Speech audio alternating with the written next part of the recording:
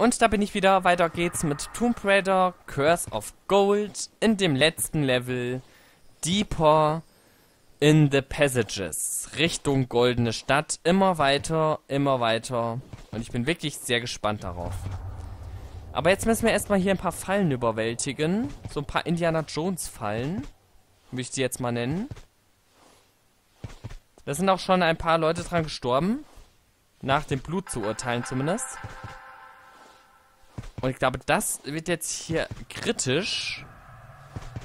Weil wir nicht so gut zurückgehen können, oder? Doch, geht. Am besten dann springen, wenn die zu sind. Da haben wir genug Zeit. Und hier haben wir eine Kugel zum Schieben. Dann machen wir das doch mal. Dann können wir die bestimmt da runter kicken.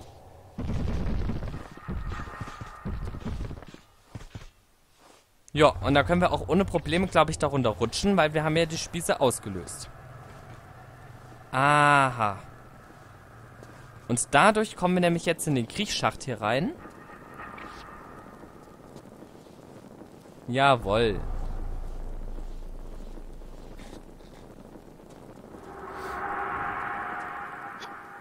Und der bringt uns hier hoch. Aha. Ist das wieder eine Tür oder ist das keine Tür? Ne, das ist eine Wand, die einfach nur schön verziert ist. Mehr ist es nicht. Und dann können wir nämlich die Kugel auch noch runterschieben. Das ist aber immer noch nicht die vom Anfang, die wir gesehen haben. Die machen wir wahrscheinlich dann als letztes, weil jetzt können wir nämlich den Schalter drücken. Und der lässt dann bestimmt die andere runterpurzeln noch. Ah. Das ist auch gut. Dann kommen wir nämlich da hoch. Sie so nur wieder zurückkommen. Das ist jetzt die nächste Frage. Wie kommen wir da jetzt am besten wieder zurück? Ich meine, hin ist immer die eine Sache, aber zurück? Ah, ich hab's verstanden. Und zwar können wir jetzt, ah, danke für die musikalische Einlage, den noch ziehen, weil wir dadurch ja jetzt, ähm, keinen Schaden mehr bekommen. Lösen damit das aus und dürften dann zurückspringen können. Auch hier drüber sogar.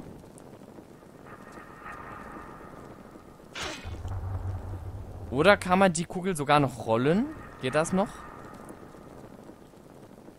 Ja. Oder? Nee, das macht sie tatsächlich nicht. Und da sind wir dran gestorben. Hm, aber vielleicht können wir einfach über die Kugel drüber springen. Aber ja, können wir. Wir dürfen halt nur ein Feld weiter hinten landen. Und dabei nicht verbrennen. Das ist die nächste Sache. Aber dann könnte das gehen.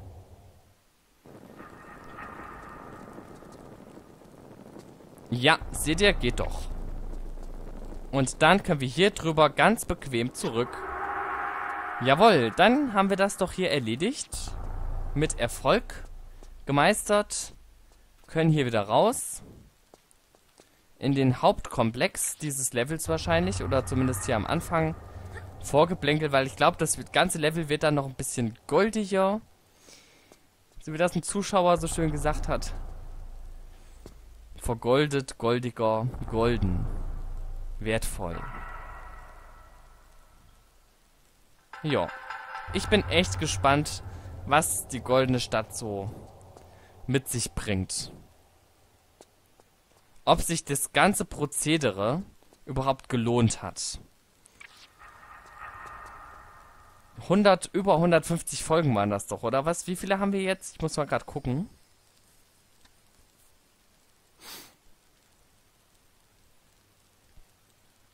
Wir haben bei Quest of Gold 161 Folgen. Haben hier jetzt vielleicht auch 10 oder so? Dann, also wir hätten mal so, jetzt mal so überschlagen, so circa zwischen 170 und 180 Folgen für diese goldene Stadt gemacht. Ne? Also muss diese Stadt auch wirklich. Da, da habe ich jetzt Erwartungen dran, TC14. Also ich hoffe wirklich, dass du dir da was Gutes ausgedacht hast. Wenn das 180 Folgen sind, A, eine Viertelstunde. 180 durch 4 sind Oh Gott, ich und Mathe geht gar nicht. 120, 100... Oh Gott. 180 durch 4.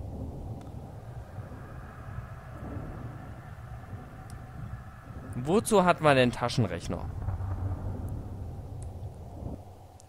180 durch 4. Oder sagen wir mal, das sind ja, am Ende sind es vielleicht wirklich 180 Folgen, ich weiß es nicht. Wie lange das Level jetzt ja auch noch geht. Machen wir mal großzügig 180 durch 4. Das sind 45 Stunden. Und da sind nicht mal die Fehlversuche dabei. Doch sind sie. 45 Stunden, 24 sind ein Tag.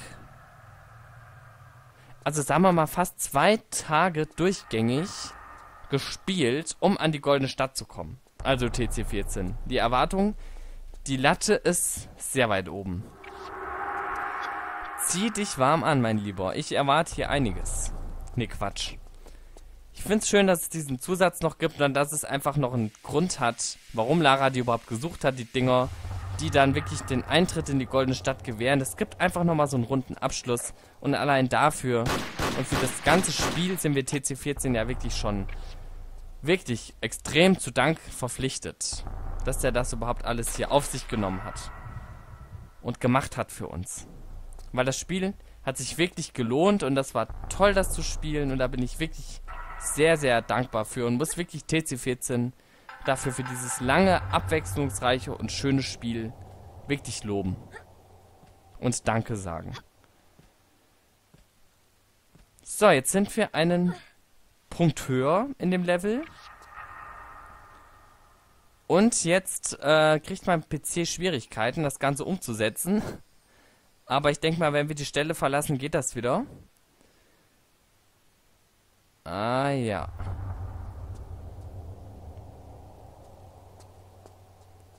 Wo können wir von hier aus jetzt hin?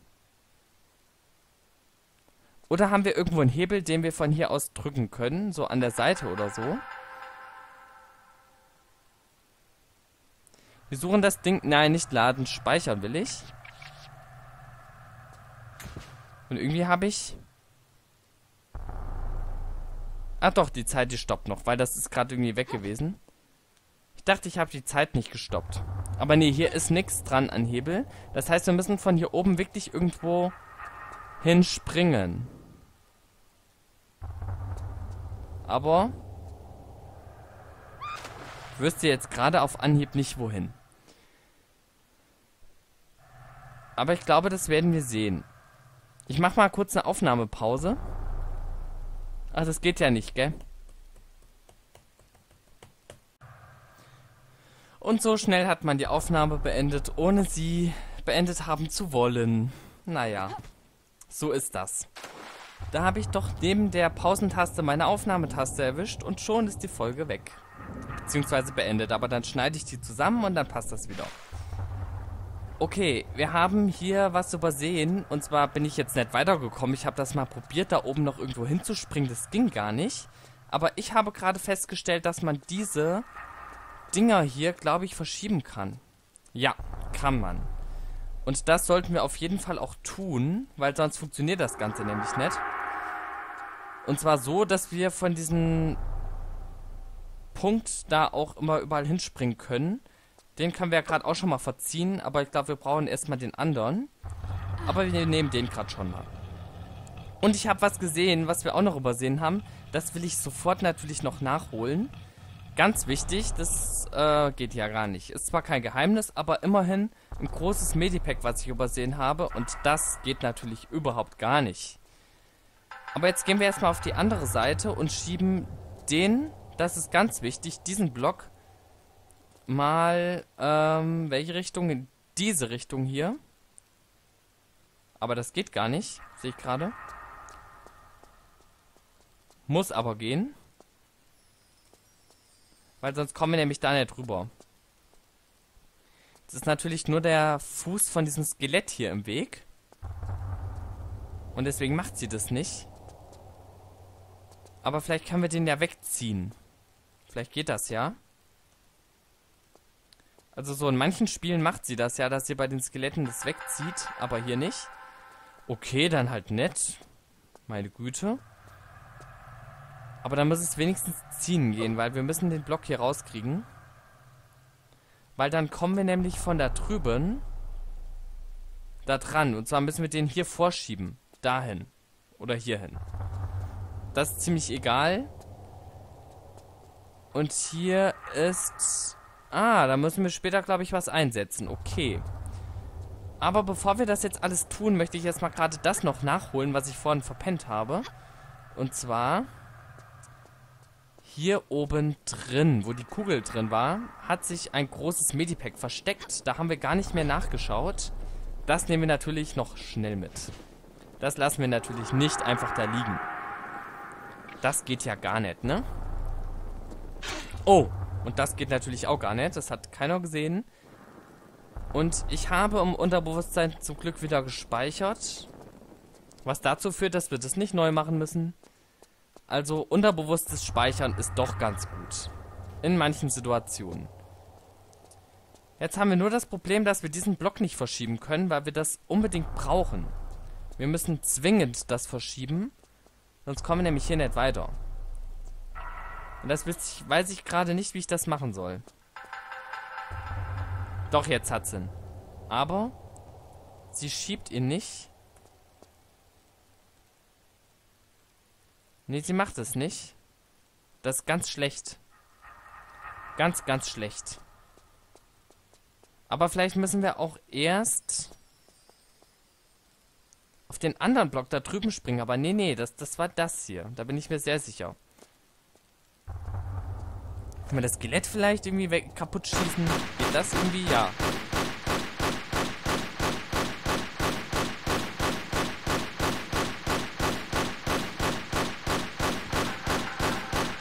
Ich bezweifle es stark. Es blutet zwar, aber mehr auch nicht.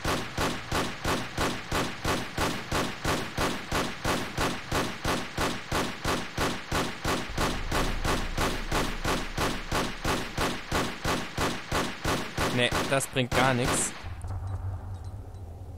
Ja, doof. Wir müssen das auf jeden Fall... Aber vielleicht können wir das hier zerschießen. Nee. Ziehen. Ah, den kann man verschieben. Aber so noch nicht, weil nämlich da die Spieße noch im Weg sind. Aber den müssen wir auf jeden Fall verschieben. Aber das macht sie jetzt nicht, weil die Spieße im Weg sind. Ah, doch, sie macht es. Aber sie wird dabei sterben, das weiß ich jetzt schon. Ja, das war ja klar. Ja, das heißt, wir haben hier ein bisschen Probleme gerade. Und also ohne den, das Skelett hier wegzubekommen, kriegen wir auch den Block nicht dahin geschoben. Das heißt, wir müssen das jetzt dringend ändern. Aber wie? Dann versuchen wir halt doch erstmal über den anderen Block zu kommen. Weil die Richtung funktioniert ja noch nicht. Aber auch der dürfte hier viel zu weit weg sein. Wir schieben den jetzt nochmal ein Stück nach vorne. Damit wir überhaupt irgendwie eine Chance haben, da überhaupt ranzukommen. Vielleicht kommen wir darüber ja schon mal weiter. Probieren wir das doch erstmal, weil das andere... Es ist mir gerade irgendwie zu auswegslos, beziehungsweise gar nicht machbar weil das Skelett den Weg versperrt. Müssen wir nur gucken, wo ging es nochmal hier? Da, genau. Da ging es hoch. Dann springen wir da nochmal hin. Klettern die Totenköpfe nach oben. Und versuchen uns einfach mal an diesem Sprung. Mal gucken, ob es klappt. Mehr als schief gehen kann es ja nicht. Nur dann wüsste ich halt nicht so wirklich, was wir tun sollen. Aber dafür gibt es ja das Internet mit einem Lösungsvideo und dann kriegt man das alle mal hin. Wo ist es denn jetzt hier die Stelle? Da, da ist es doch. Genau, da kommen wir jetzt auf jeden Fall dran. Das müsste machbar sein. Und vielleicht können wir von da drin da schon mal was verändern.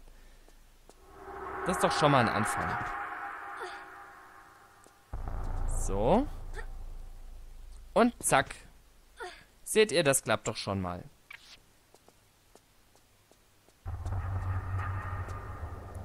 Hier haben wir einen Hebel. Den ziehen wir aber dann in der nächsten Folge. Ich werde die zwei Folgen von eben zusammenschneiden und dann habe ich eine ganze. Und dann sehen wir uns hier in diesem wunderschönen Raum in der nächsten Folge wieder. Bis dann. Ciao.